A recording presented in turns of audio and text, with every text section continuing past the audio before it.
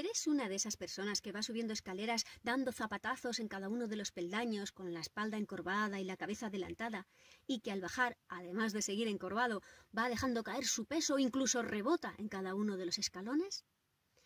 Pues te invito a que lo hagas de una manera diferente, impulsándote suavemente en cada uno de los pasos, a la vez que mantienes una postura erguida, que lo ideal sería que conservaras también cuando bajas los escalones, no hace falta adelantar mucho la cabeza para verlos, y mientras amortiguas el peso de tu cuerpo en cada uno de los pasos al bajar. Por si fuera poco, normalmente subimos cargados con peso o con alguna mochila, por lo menos en el conservatorio. De hecho, hay alumnado que sube con las mochilas del conservatorio más las del instituto o las del colegio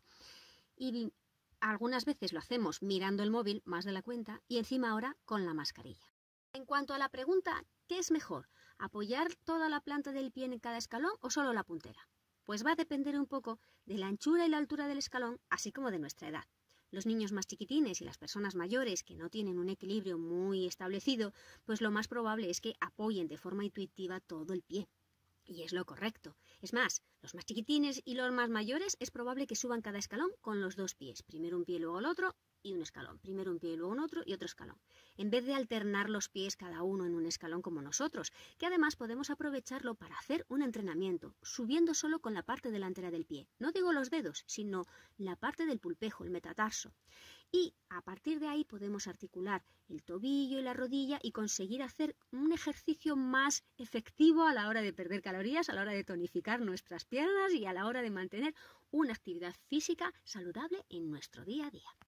Así que recuerda, en vez de subir las escaleras de forma pesada, pegando un zapatazo en cada escalón, incluso arrastrando los pies con la espalda toda encorvada y la cabeza adelantada,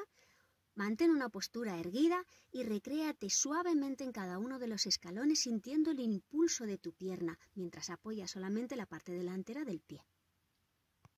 Y a la hora de bajar, en vez de dejarte caer con desgana en cada uno de los escalones, incluso rebotando para hacer todavía más daño a cada una de las articulaciones, mantén una postura erguida, aunque con la mascarilla sea un poco complicado, quizás tengas que adelantar la cabeza. Y recréate en sostener tu cuerpo en cada uno de los pasos de forma liviana y ligera.